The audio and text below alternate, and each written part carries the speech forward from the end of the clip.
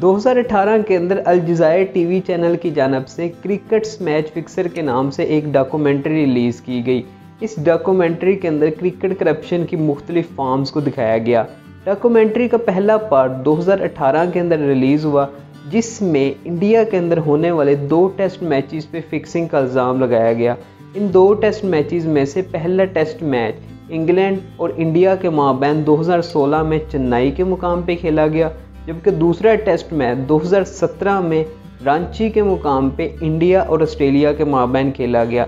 Documentary के अंदर ये इल्ज़ाम लगाया गया कि दोनों टेस्ट मैचेस में बैट्समैनों ने फिक्सर की जानब से बताए जाने वाले एक स्पेसिफिक रन रेट के साथ बैटिंग की। अक्टूबर 2018 के अंदर अलजायर टीवी चैनल ने अपनी डॉक्यूमेंट्री का दूसरा पार्ट रिलीज़ किया, जिसमें उसने 2011-12 की पीरियड में होने वाले 15 इंटरनेशनल मैचेस पे स्पॉट फिक्सिंग का इल्ज़ाम लगाया।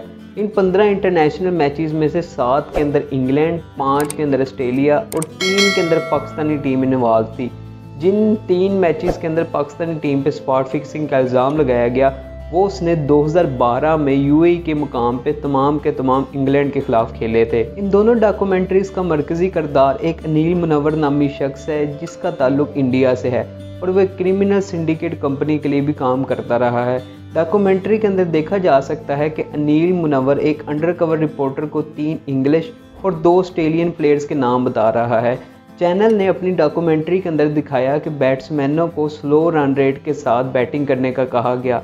बाद में डॉक्यूमेंट्री के अंदर अलजायर टीवी चैनल ने इस बात का दावा किया कि जो रन रेट अनिल मुनवर ने अंडर कवर रिपोर्टर को बताया था, बिल्कुल उसी सेम रन रेट के साथ बैट्समैनों ने ग्राउंड में जाके बैटिंग की। इस सारे मामले के बाद आईसीसी ने टीवी डॉक्यूमेंट्री के अंदर दिखाए जाने वाले फिक्सिंग के इल्ज़ाम को लेके इन्वेस्टिगेशन करने का फैसला किया। तीन साल तक जारी रहने वाली ये इन्वेस्टिगेशन अभी रिसेंटली अपने अख्ताम को पहुँची है और आईसीसी ने नाकाफ़ी सबूत होने की बुनियाद पे तमाम के तमाम इल्ज़ाम को रद्द कर दिया है।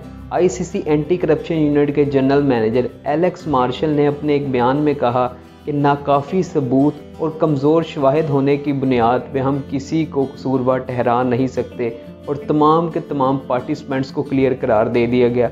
जिन पाँच इंडिविजुअल्स को क्लियर करार दिया गया, उनके अंदर दो क्रिकेटर्स भी शामिल थे, जिनमें एक श्रीलंकल ऑलराउंडर और एक पाकिस्तानी बैट्समैन हसन रजा भी शामिल थे। आईसीसी एंटी करप्शन यूनिट के जनरल मैनेजर का मजीद कहना था कि इन फ्यूचर अगर कोई न्यू एविडेंस सामने लाए जाते हैं तो आईसीसी ज़रूर उनकी तहकीकात करेगी।